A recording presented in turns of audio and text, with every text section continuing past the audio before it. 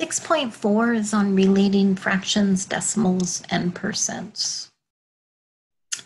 So normally I would just put this up in blue and have the class fill in the blank spots in orange. But as you can see, my sheet is already filled in here. Um, the first one already filled in. One half written as a decimal is five tenths. As a percent, that's 50%. And the word percent literally means per 100. So that means how many divided by 100.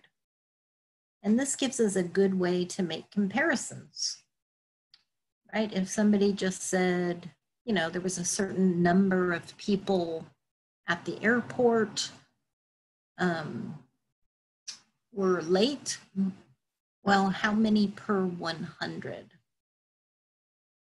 Right? Or we talk about maybe a certain number of people of a certain ethnicity at our college. Well, how many is that per every 100? So we get a sense of the portion. Um, there are several ways you can kind of convert these. Um, if you're given three fourths, you could say, well, that is 3 divided by 4.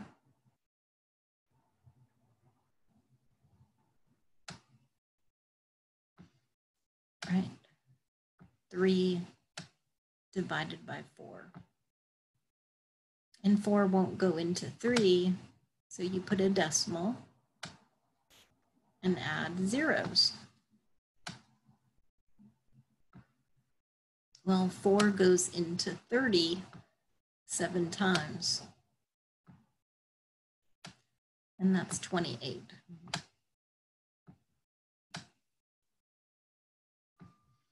And you subtract that, and you're left with 2. 4 won't go into 2, so you have to add another 0. And 4 goes into 25 times. And that gives you 20.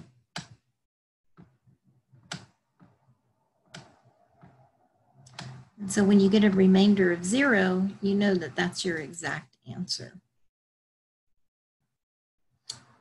Another way you could do it is say, well, can I convert fourths to some power of 10 so I can write it in a decimal because I know that's the tenths place that's the hundredths place. The next one's the thousandths place. And I can't, four doesn't go into 10, but four does go into 100. So I could multiply the bottom by 25.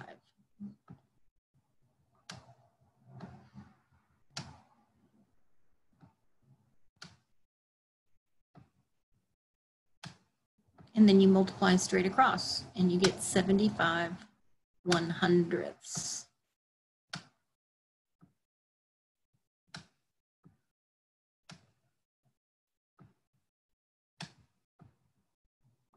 And that's how we write it as a decimal.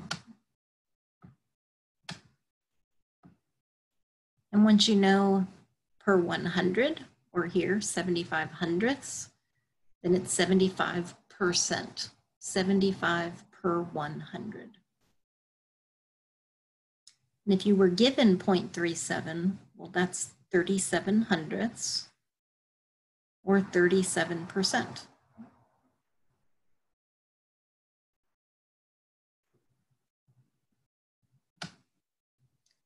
One point four five one is a hundred percent. It's a whole hundred percent. And then 0.45 is 45%. Or you could read off, that's 145 hundredths or 145%. 145 hundredths. That is 28 thousandths or 2.8%. See, again, that's more than 100%. One is 100%. Or you could read all the way to the hundredths place, 4,321 hundredths, or percent. Uh, 32% is 32 hundredths, 32 hundredths. 123 hundredths, or 123%. That is one ten thousandth, or 0.01%. And that is 43.2 hundredths, or 43.2%. 432 thousandths.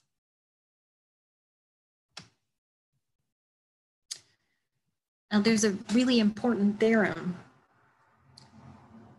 If A over B is a fraction in simplest form, then A over B has a terminating decimal representation if and only if the denominator B contains only twos and or fives in its prime factorization.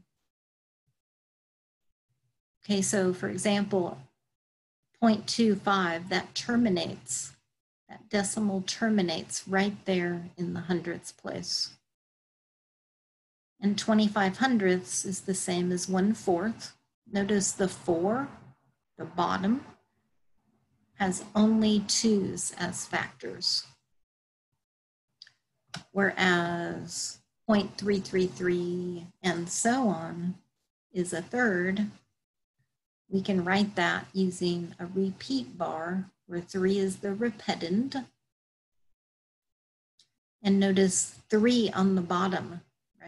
It's not made up of twos and or fives. We need only twos and or fives because each decimal place is a power of 10. So tens are made up of only twos and fives. These are all examples of non-terminating decimals. They don't terminate. Uh, these are repeating decimals. Here, the 838383 repeats. So the repeat bar only goes over the 83. 83 is the repetend.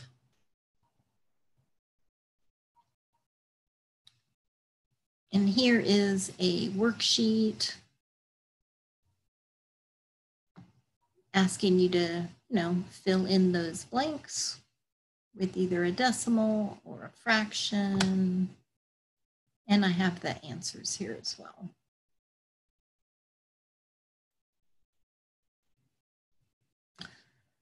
Um, by the way, some decimals do not terminate and might also not repeat. So you can have non-terminating decimals. A classic one would be like pi.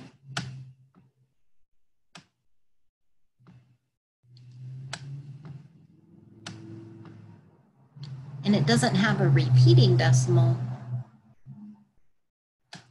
In fact, let's see